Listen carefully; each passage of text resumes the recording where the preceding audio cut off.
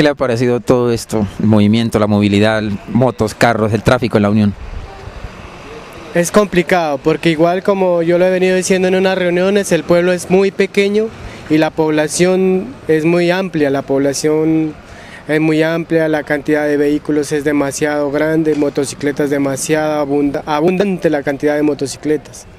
Bueno, eh, eh, ¿Ustedes cómo van a trabajar, usted a su cargo, cómo van a trabajar de aquí en adelante con la comunidad?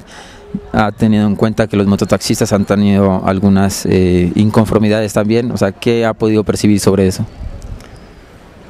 Bueno, con los mototaxis se le está haciendo el, control normal como si se tratara de cualquier otro vehículo, ¿no?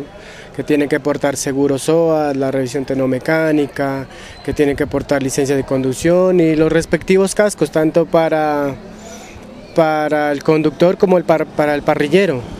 Llevamos un año acá y desde ese año hubo una parte de sensibilización y de enseñanza que fueron seis meses de febrero a julio del 2003, del 2014 y a partir de esa fecha hacia acá hemos venido sancionando ya con comparendos que implican una multa pecuniarios. Entonces, a raíz de eso, pues todos los controles que se haga, la operatividad que se haga, eso es multa sancionatoria. De la comunidad es por qué solo las motos y no los carros también, en este caso que a veces son los más desordenados, ¿no? A ver, empezamos como por el gremio de mototaxis, organizarlos a ellos primero. Posteriormente ya se va a ir organizando con las empresas y posteriormente se le irá haciendo el control a las a los servicios a los servicios públicos que están prestando un servicio informal. Entonces, todos vamos es por partecitas, tenemos que hacer un cronograma con ojalá con el municipio para ver qué vales son los los controles que se van a ejercer. Entonces necesitamos es ir por partecitas. El problema en la Unión es la señalización, o sea, ustedes han tenido en cuenta ese tema también porque mucha gente dice, no, yo no sé dónde parquearme, para que usted desatore este problema, para que le explique a la gente dónde se puede parquear y dónde no, en las calles de la Unión.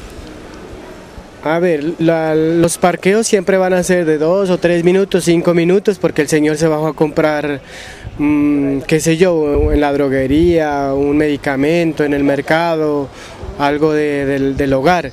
Son cinco minutos, pero usted ve aquí en el municipio que se parquean llegan aquí, se parquean, dejan el carro tirado ahí dos, tres horas, cuatro horas, se desentendieron del vehículo mientras hacían sus, sus actividades.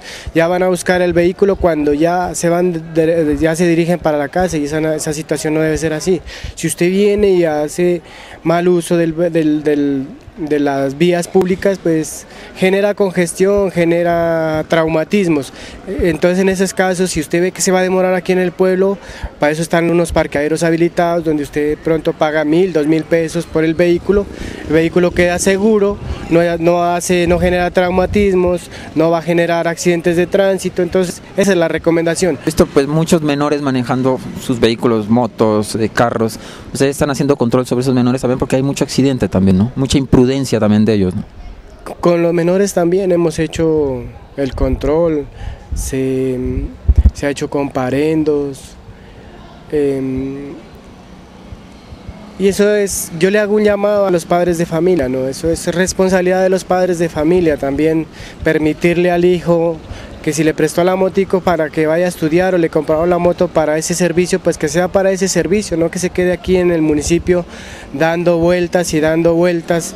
Y, son irresponsables, andan a unas velocidades que pueden que no son que son exageradas y en un momento pueden causar un accidente, se pueden lesionar ellos mismos, pueden lesionar a otras personas. Y el problema para quién va a ser, para el padre de familia. Dando también alguna alguna algún tiempo para, para, para estas motocicletas para que se pongan al día o ya están aplicando todos los comparendos como, como tal?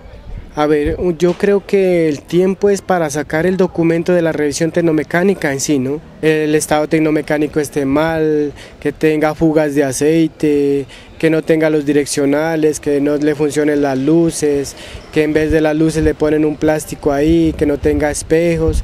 Entonces en ese caso sí se está inmovilizando las motocicletas por revisión tecnomecánica porque no es justo que anden esos vehículos que son, que son armas mortales en ese sentido.